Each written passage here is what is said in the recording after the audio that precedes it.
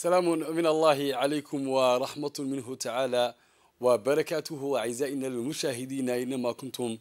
أهلا بكم. نشرة إخبارية مفصلة من تلفزيون جيبوتي نستهلها بأبرز العناوين. اجتماع للآلية الإفريقية للتقييم من قبل النظراء للمصادقة على تقرير حول الحكم الرشيد في إفريقيا. البنك الدولي يتوقع انتعاشا نسبيا للنمو الاقتصادي بإفريقيا جنوب الصحراء في العام الحالي 2023 تلكم كانت مقدمة النشرة وإليكم تفاصيلها من تلفزيون جيبوتي. أهلا بكم. انعقد يوم أمس الخميس في فندق كمبينسكي بالاس اجتماع للآلية الإفريقية للتقييم من قبل الوزراء للمصادقة على تقرير حول الحكم الرشيد في إفريقيا لعام 2023 نتابع المزيد مع زميل فيصل أحمد. انعقد يوم أمس الخميس في فندق كمبينسكي بالاس اجتماع للآلية الإفريقية للتقييم من قبل النظراء للمصادقة على تقرير حول الحكم الرشيد في أفريقيا 2023 وستمتد أشغال هذا الاجتماع لمدة ثلاثة أيام للمصادقة على التقرير. ويعد هذا الحدث مهم للقارة الأفريقية حيث إنه يقيم حالة الحكم الرشيد في المنطقة. وسيقدم التقرير الذي سيتم نشره في عام 2023 تحليلا شاملا للتطورات السياسية والاقتصادية والاجتماعية في أفريقيا مع التركيز بشكل خاص على مسألة حقوق الإنسان. وعقدت لجنة التقييم المكونة من ممثلين من جميع الدول الأعضاء في الاتحاد الإفريقي اجتماعا لمدة ثلاثة أيام في جيبوتي لمناقشة التقرير والانتهاء منه. وشارك في هذا الاجتماع الخبراء والأكاديميون وممثل منظمات المجتمع المدني لتقديم مناقشات وتعليقات حول التقرير. كما ستستمع اللجنة إلى ممثلي مؤسسات الاتحاد الإفريقي مثل اللجنة الأفريقية لحقوق الإنسان والشعوب ملاحظاتهم وتوصياتهم بشأن التقرير. يعد التقرير أداة مهمة لرصد وتقييم التقدم المحرز في الحكم الرشيد في أفريقيا ويسلط الضوء على التحديات وكذلك الفرص الرئيسية لتحسين الحكم الرشيد. ألقى الأمين التنفيذي لمنظمة الإيجاد الدكتور واركينا جابيو كلمة قال فيها إن هذا التقرير هو أحد الوثائق التي تقيم التطور السياسي الديناميكي والذي تم إنجازه في القارة الأفريقية خلال العامين الماضيين هذا هو ألقى معالي وزير الشؤون الخارجية والتعاون الدولي الناطق الرسمي باسم الحكومة سيد محمود علي يوسف كلمة أشار في مستهلها إلى أن التقرير هو أداة أداة لتقييم الحكومة الأعضاء أو الحكومات الأعضاء في الاتحاد الإفريقي نتابع. As we all know, The Africa Governance Report is a practical instrument. إن التقرير حول الحكم الرشيد في أفريقيا 2023 هو أداة أنشأها مجلس رؤساء الدول وحكومات الاتحاد الإفريقي في عام 2019 لتعزيز الديمقراطية وسيادة القانون والحكم الرشيد وأشيد بالدول الستة التي أنشأت هذه الآلية حيث أجروا مراجعات هادفة إلى تقييم الدستور وحكم الدولة والنزاهة والانتخابات الديمقراطية. إن هذا التقييم سيوفر فهما شاملا للتحديات التي تواجه بعض البلدان الأعضاء. إنني مقتنع أن هذا الاجتماع سيقدم مجموعة واسعة من التوصيات للحكومات ومعالجتها والاستجابة لها بشكل فعال. وأشدد على أنها لن تكون مهمة سهلة لأن كل موقف يختلف عن الآخر وله أسباب جذرية وتاريخية ومتعددة الجوانب. وأختم كلمتي بالتأكيد على أن الاتحاد الأفريقي وكافة أجهزته وآلياته تعمل جاهدة لتحقيق أهداف الاستقرار والحكم الرشيد والازدهار الواردة في أجندة 2063 تتواصل لليوم الثاني على التوالي أشغال اجتماع الآلية الإفريقية للتقييم من قبل النظراء للمصادقة على تقرير حول الحكم الرشيد في إفريقيا في فندق كامبيسكي بالاسا ويعد هذا الحدث مهم للقارة السمراء لأنه يقيم الحكم الرشيد في الحكومات الأعضاء في الاتحاد الإفريقي. ويقدم التقرير الذي سيتم نشره في عام 2023 أي هذا العام تحليلا شاملا للتطورات السياسية والاقتصادية والاجتماعية في إفريقيا مع التركيز بشكل خاص على مجال حقوق الإنسان عقدت لجنة التقييم المكونة من ممثلين من جميع الدول الأعضاء في الاتحاد الإفريقي اجتماعا لمدة ثلاثة أيام في فندق كمبينسكي بالاس حيث شارك فيها الخبراء والأكاديميون وكذلك ممثلو منظمات المجتمع كما ستستمع اللجنة إلى ملاحظاتهم وتوصياتهم بشأن هذا التقرير. إلى محافظة الدخل رعى معالي رئيس الوزراء سيد عبد القادر كامل محمد يوم أمس في محافظة الدخل حفلا مكرسا لتوزيع الشهادات على الفائزين في مشروع تمكين الشباب في مجال ريادة الأعمال المعروف باختصار بفورج. وهذا وقد أطلق دولة رئيس الوزراء سيد عبد القادر كامل محمد برفقة وفد رفيع المستوى يضم وزير الشؤون الاجتماعية والتضامن السيد ولوف إسماعيل عبده. أطلقوا في هذا الإقليم فعاليات أسبوع التضامن الوطني. وقد أنجزت في اليوم الأول من هذه الفعاليات أنشطة اجتماعية متعددة ضمن الأسبوع الوطني للتضامن الاجتماعي في الدخل وتندرج هذه الأنشطة رغبة الحكومة في جعل العمل الاجتماعي على رأس أولوياته. أولوياتها. وبناء على ذلك ترأس رئيس الوزراء إلى جانب وفد رفيع المستوى في حفل تسليم الشهادات للفائزين بمشروع تدريب الشباب على ريادة الأعمال وقامت الوكالة الجيبوتية للتنمية الاجتماعية عبر مشروع تمكين الشباب بدعم الشباب القاطنين في هذه المنطقة. ويساهم هذا المشروع في تدريب الشباب على ريادة الأعمال حيث تم اختيار 150 شابا من حاضرة دخل والنواحي الفرعية لتنفيذ أنشطة اجتماعية. من جهتها لفتت وزيرة الشؤون الاجتماعية والتضامن السيد ألوف إسماعيل عبدو في كلمتها الانتباه إلى الجهود التي تستحق الإشادة ضمن السياسة الحكيمة التي ينتهجها فخامة رئيس الجمهورية. نتابع. Depuis un certain nombre d'années, non seulement le MAS, mais également l'Agence djiboutienne de développement social. كما حرصت كالعادة تحتفل وزارة الشؤون الاجتماعي والتضامن بالأسبوع الوطني للتضامن. وتعد منطقة الدخل الخطة الأولى لجولتنا في مجمل الأقاليم الداخلية. واليوم يتضمن الوفد الحكومي إلى جانب رئيس الوزراء الوزراء القطاعيين والذين أشكرهم على المشاركة معنا. تمتد سنوات عديدة تقوم الوكالة الجيبوتية للتنمية الاجتماعية تابعة لوزارة بقيادة رئيس الجمهورية الحاج إسماعيل عمر جيلي بالعديد من الأنشطة التي تطال كافة المجالات ذات صلة بالتضامن. وأود بهذه المناسبة لفت الانتباه إلى بعض الأرقام التي تستحق الإشادة للسياسة الحكيمة التي ينتهجها فخامة رئيس الجمهورية وإشادة خاصة لإقليم دخل. كما تعلمون فإن هناك نسبة كبيرة من السكان الإقليم يعانون من الفقر نظرا للكثافة السكانية. ومن هذا المنطلق ينشط صندوق الشعبي للادخار والقروض في المنطقة فقد كنا قبل أقل من شهر بخصوص مشروع تحويلات نقدية استجابة لطلب السكان بزيادة العدد إلى أكثر من 1500 وإدراج ناحية يوبوكي في المشروع وكذلك تمكينها الاستفادة من المساعدة الاجتماعية والغذائية.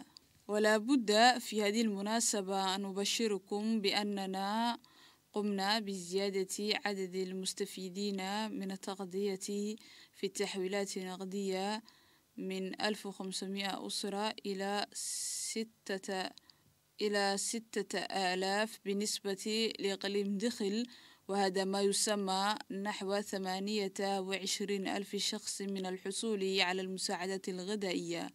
وتأتي هذه الخطوة على خلفية النداء الذي أطلقه رئيس الجمهورية مؤخرا في عقاب موجة الجفاف حيث نجحنا بحمد الله بحشد الموارد اللازمة من جانب الشركاء فضلا عن الوزارات الخاصة بهدف تقديم الدعم للأفراد الذين يعانون من انعدام أمن الغذائي.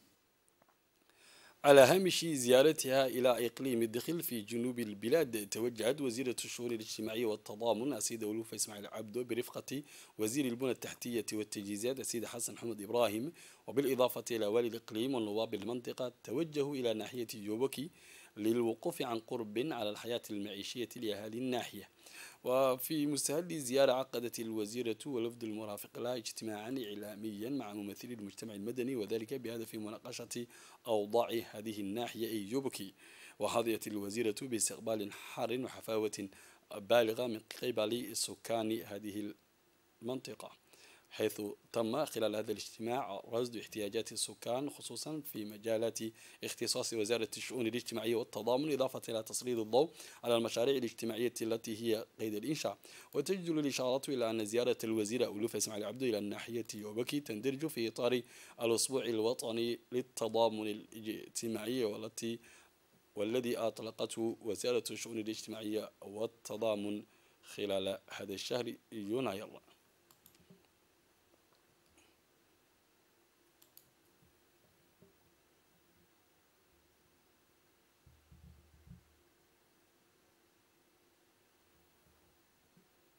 وفي مداخلة له قدم وزير التجهيزات والبنى التحتية وزير الإقليم السيد حسن محمد إبراهيم أهالي جوبكي على شكره على الترحيب الحار الذي حظي به أثناء وصوله والوفد المرافق له إلى يوبكي.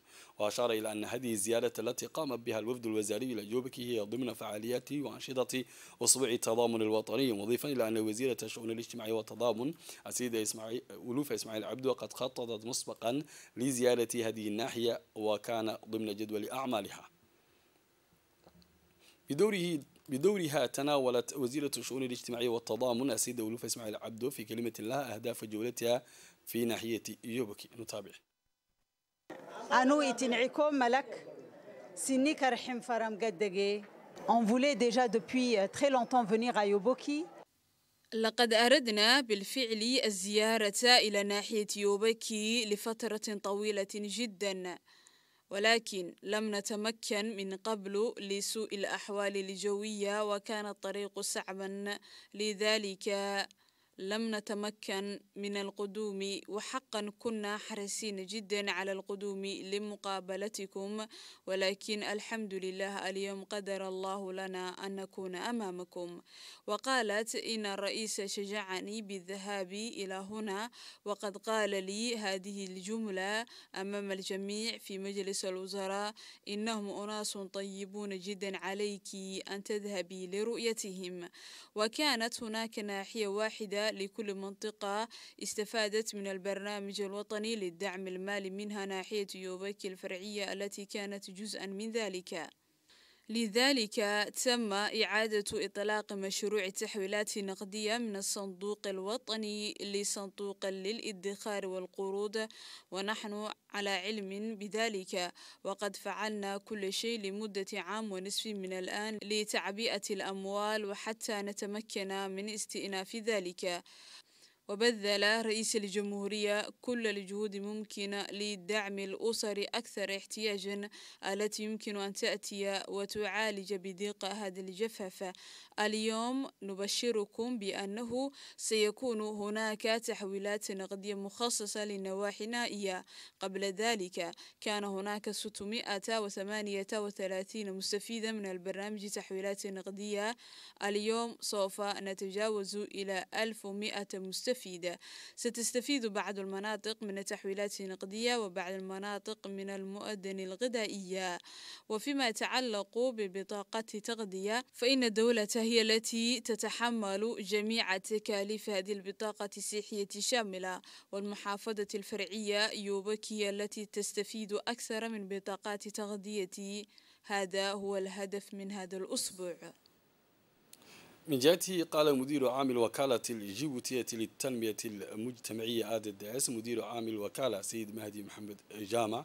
نحن اليوم في إطار أسبوع يوبكي في قرية نحن في إطار أسبوع التضامن الوطني في يوب في قرية يوبكي لنطلع عن قرب وبشكل فعال على إنجازات الوزارة ومن جهتنا وفرنا دورات تدريبية ل 150 شابا في ريادة الأعمال. ونحن في مكان استراتيجي ومن الضروري تطوير الأنشطة المديرة للدخل لدى الشباب. سيتم إنشاء 25 موقعا للتجارة وسيستفيد منها 75 شابا. لذلك نحن سعداء للغاية لأن مهمتنا هي محاربة الفقر والحد من بطالة الشباب. في إطار مكافحة البعوض والحشرات الضارة بصحة الإنسان قامت وزارة الصحة من خلال معهد الصحة المعهد الوطني للصحة العامة في جيبوتي وبالتعاون مع مختلف بلديات العاصمة قام المعهد بإطلاق حملة لمكافحة البعوض ورش المبيدات على مواقع تكاثرها في العاصمة جيبوتي. وستشمل هذه الحملة لرش المبيدات في كافة المناطق والأحياء الكائنة في العاصمة والتي تكثر فيها مواقع تكاثر البعوض والتي تسبب مشاكل صحية عامة خلال فترة الشتاء وبالتالي ستقوم سيقوم فريق من المعهد الوطني للصحة العامة بتوعية السكان حول تدابير الوقاية من إصابة الأمراض التي تسببها البعوض. ويذكر أن وزارة الصحة أطلقت بالتعاون مع وزارة الزراعة حملة لرش المبيدات عبر الجو بالتزاون مع الرش الأرضي. وتدعو وزارة الصحة سكان إلى دعم جهود مكافحة ناقلات الأمراض من خلال تسهيل عمل للفريق المكلف بذلك. تجري عمليات تنظيف العاصمة لإزالة حطام السيارات المهجورة والمهملة وإعادة فتح الطرق العامة على قدم وساق وذلك بمبادرة من عمدة مدينة جيبوتي سيد سعيد داود محمد. هذا وتوجه فريق من مكتب العمدية والمسؤولون والمنتخبون المحليون يوم أمس إلى الحي السابع وإلى ملعب البلدية بغية رفع حطام السيارات وتنظيف الطرقات ضمن مشروع جيبوتي صفر النفايات. وبدأت هذه العمليات التنظيفية في وقت مبكر من صباح يوم أمس الخميس واستمرت حتى نهايته وتم تنظيف الشوارع من السيارات القديمة والمهجورة والمتروكة على أطراف الطرق الرئيسية والأحياء. وتندرج هذه العمليات ضمن مشروع جيبوتي صفر النفايات وهي وهو إحدى التدابير ذات الأولوية لخطة النظافة التي أطلقها عمدة مدينة جيبوتي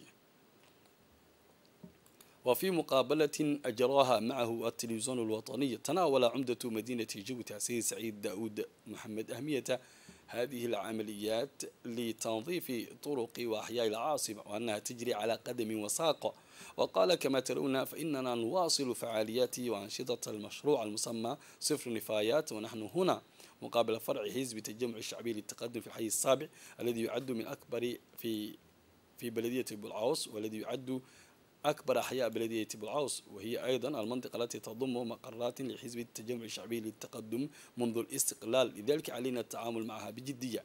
ومن خلال هذا المشروع صفر النفايات سنجعل عاصمتنا ومدينتنا مدينة نموذجية. ولن نتساهل مرة أخرى مع هذا النوع من السلوك الذي يؤثر الرفاهية مواطنينا في الواقع لتنفيذ هذا البرنامج يجب أن نوحد قوانا كما تم انتخابنا.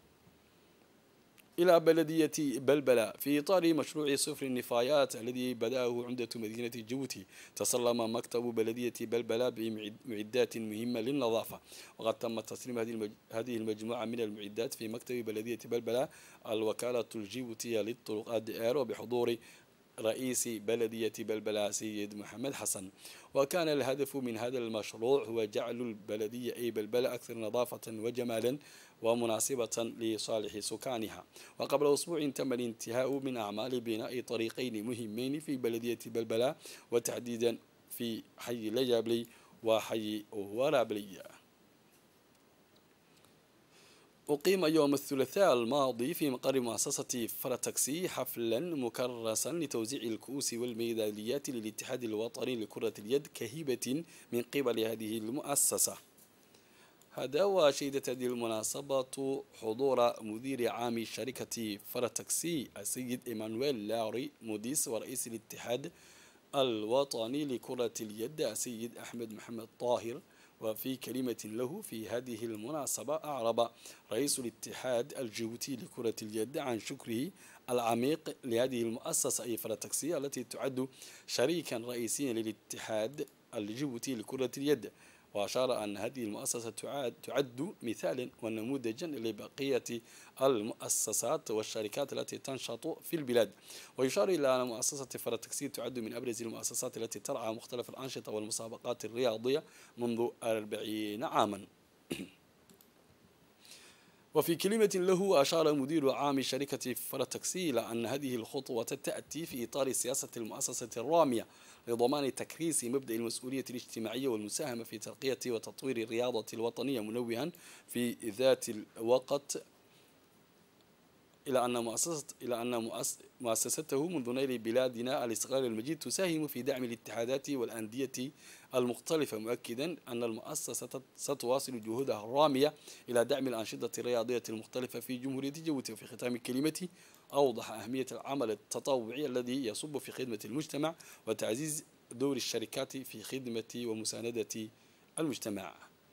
إلى الصومال أعلنت الحكومة الفيدرالية الصومالية مقتل 61 من ميليشيات حركة الشباب. نتابع. أعلنت الحكومة الفيدرالية مقتل 61 من ميليشيات حركة الشباب في عملية بمنطقة حوادلي في إقليم شبيلي الوسطى المجاور للعاصمة مقدشو وأشار بيان أصدرت وزارة الإعلام الصومالية إلى أن قوات تابعة للقوات المخابرات والأمن الوطني بالتعاون مع الحلفاء الدوليين استهدفت تجمعا لنحو 150 من مقاتلي الشباب في منطقة الزراعية بضواحي حوادلي وأضاف البيان الحكومي أن العملية المخططة التي تسببت في مقتل 61 عناصر الشباب أدت أيضا إلى تدمير سيارتين مليئتين بالمتفجرات.